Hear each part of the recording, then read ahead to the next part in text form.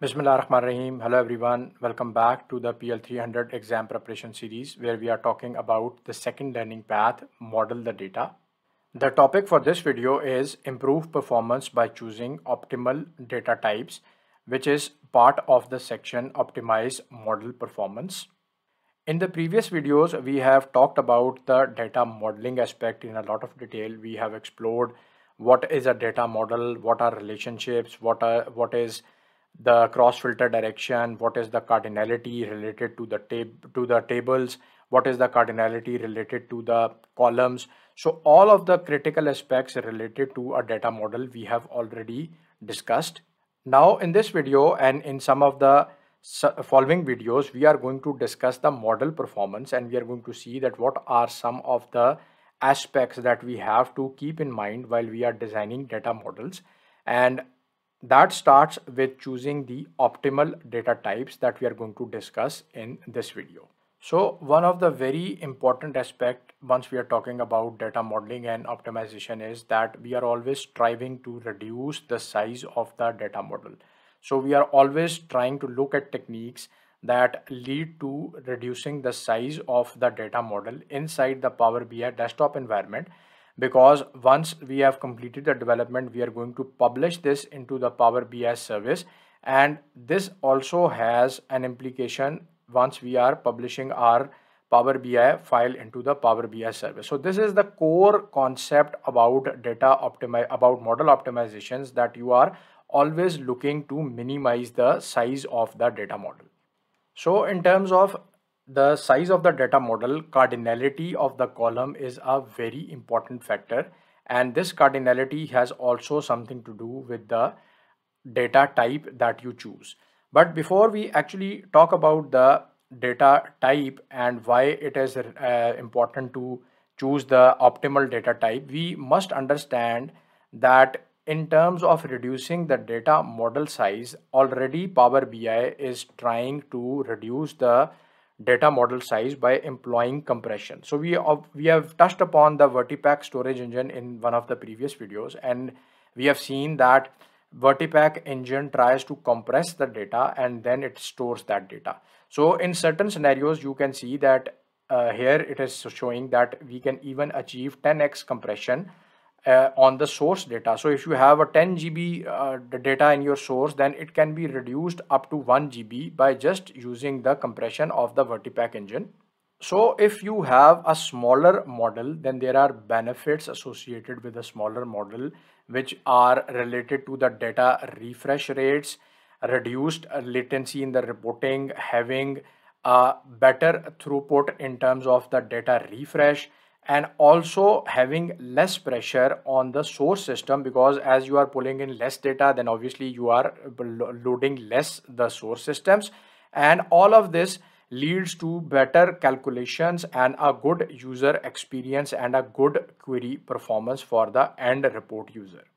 And lastly, if you are publishing your reports to Power BI service, then in Power BI service, there are going to be more and more uh, reports that you are going to publish then also in terms of the Power BI service, you are going to have improved performance of the service if you have smaller model sizes. Because the capacity if it is a shared capacity which is the case in most uh, users uh, that use power bi service they have a shared capacity then you have some kind of a contention that is taking place and the resources are being shared between a lot of users and the data models are being loaded in the memory which is shared. So also if you have the smaller model sizes in Power BI service, then you will have lower eviction rate. So we are not going to cover the eviction rates, but it is just a simple concept that if you have a fixed capacity, then only those models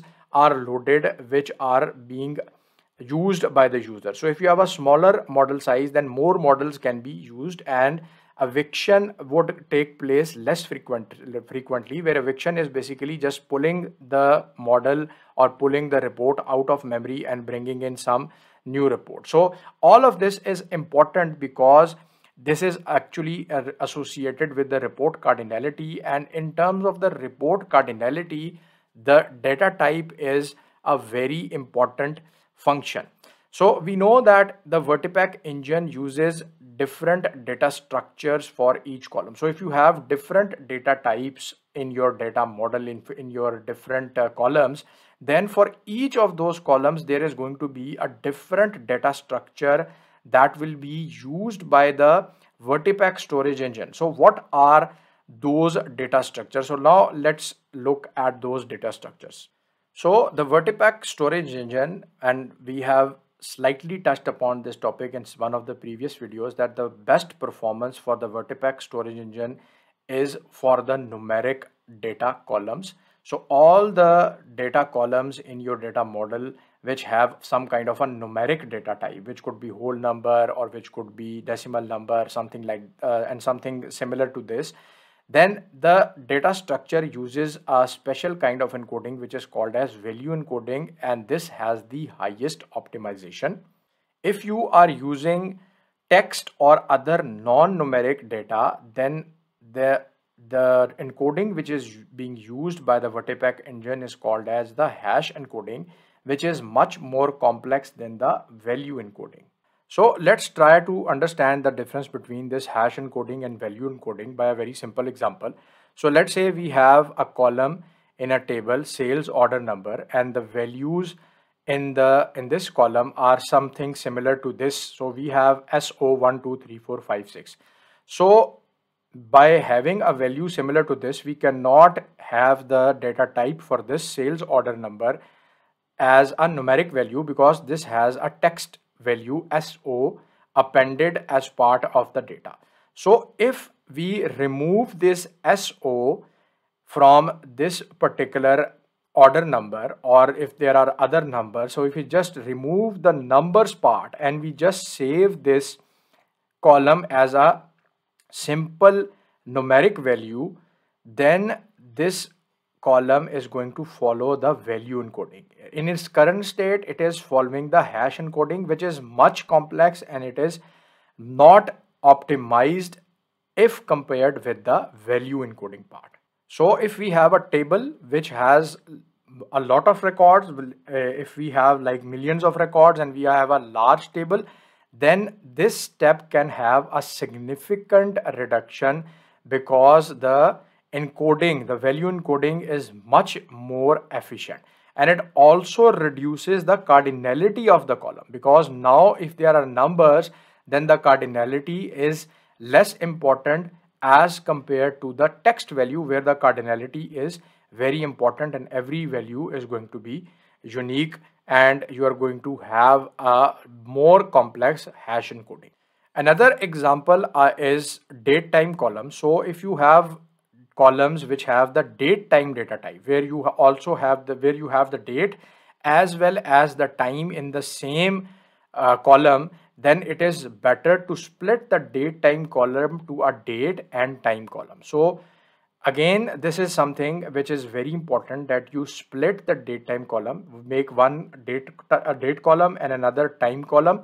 And this is going to reduce the cardinality. And again, it is going to improve the performance in terms of the encoding that is going to take place on the on each of these columns.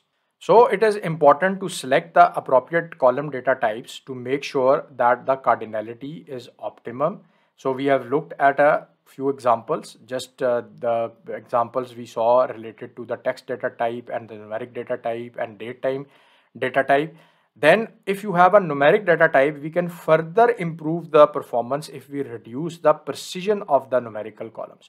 So you need to be 100% sure that how many places uh, you need to keep after the decimal value if you have decimal values then you can reduce the precision if you reduce the precision then it is again going to optimize the performance of the value encoding algorithm.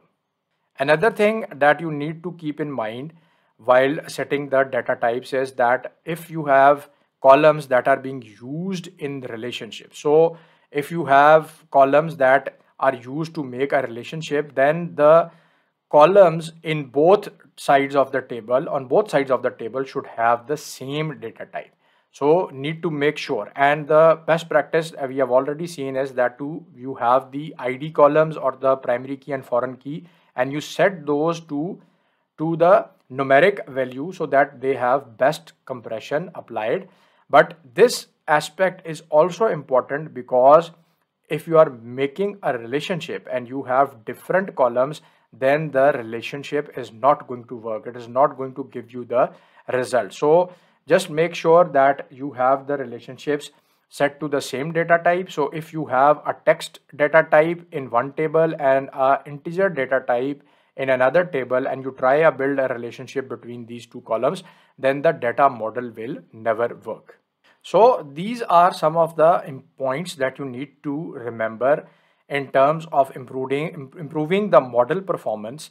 And you have to choose the optimal data type and by choosing the optimal data type you are ensuring that the cardinality is optimum and the data uh, the model is working to the best of its performance capabilities its size is reduced and obviously all of these factors relate to the overall experience and overall model performance inside a Power BI report. So that's all for this video and I will see you in the next one.